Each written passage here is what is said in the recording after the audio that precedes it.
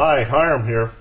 Yesterday I did a boil test, the first boil test on this flat cat gear, the standard stove. Um, had a bunch of people plus Jon from Flat Cat Gear tell me that I should do this with a windscreen pot stand. So I thought I'd do that today. Had a couple of other questions like from Beeman 715. He said, what are all the fancy swirly bends of metal for inside the stove? Seems like a lot of work to build that stove, so there must be some function.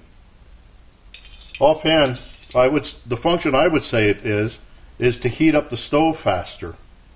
You know, on a normal, not a normal, but one of the like a tea light or something, you put the alcohol in here and it burns straight up, and you try to get it to heat the side of the stove to heat up the alcohol.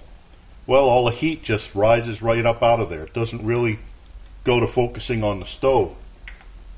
So I think what Jon was doing here was by putting the alcohol down in here and the flames are on this, the flames hit these fins and heat up the stove, which in turn heats up the alcohol more. Leastways, that's my guess. Seems to work. So what I did today was I put together a little quick and dirty windscreen pot stand. This is just ones that people make out of flashing, aluminum flashing. I made two bends on the end so that it just slides together to hold it in place. Now when I make a pot stand like this, I like to put the air holes all on one side so that you can regulate it into the wind, either more or less. You don't want the wind all blowing in here so you could turn it against the wind and try to control your stove some. If you look at this, these are where the legs go to hold the pot. They're just metal that's harvested out of the boating signs all along the streets. This is a good time of year for these. Now that the primary's done, or not primary, but the local elections are done, these things are all over the road. But you can see that up against that. There's about an inch from the top of the stove to the bottom of the pot. When I tried it yesterday with this, my hardware cloth, this seemed to wick a lot of the heat and was making the pot stand red hot.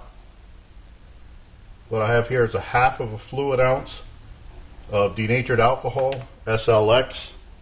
Jon said again that uh, a half of an ounce of SLX should bring two cups of water to a full boil. Of course, he's starting from 70 degrees Fahrenheit, whereas I usually start from around 60.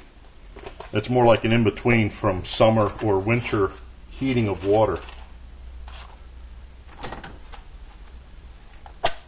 Let's light this so I can put the pot stand right on.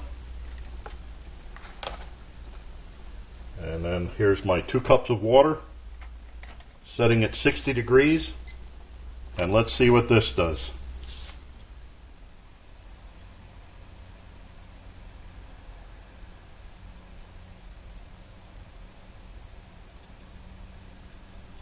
There we have 210.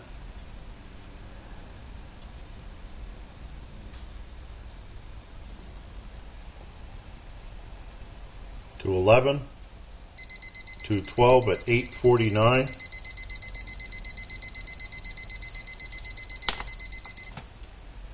Hmm. Didn't turn out so hot.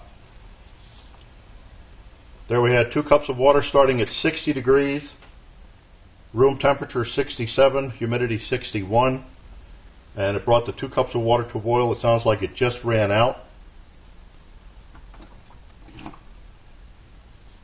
Uh, that was two cups of water starting at 60 degrees, came to a boil in 8 minutes and 49 seconds. On the test where I used my hardware cloth, it came to a boil in 7 minutes and 32 seconds, although that was a one fluid ounce. This was only a half of a fluid ounce. It looked like uh, the flames were full in there. Maybe I need to add more holes here. But on the dry run, it didn't seem to hurt it.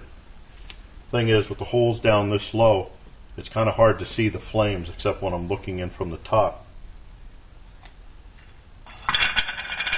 So I guess I got to try another version here or something, maybe one with more holes. Oh, also, I had a bunch of people telling me, why do I call this a stove? That's warm. Why do I call this a stove? Because it doesn't seem to fit my criteria for a stove. I know, this is actually a burner, but Flat Cat Gear calls it a stove, so that's what I call it. Let's see, anything else? Uh, this was only a half of a fluid ounce. So, I guess back to the drawing board for pot stands. Now what I wanted was, this pot stand is short because I want it to fit inside the pot. And these handles kind of get in the way too. So I look, I thank you for watching. I look forward to your input on this, your questions, remarks, helpful suggestions. And as always, watch for my buddy Max. Bye now. Know you've been a good friend, and that's in the thick and thin.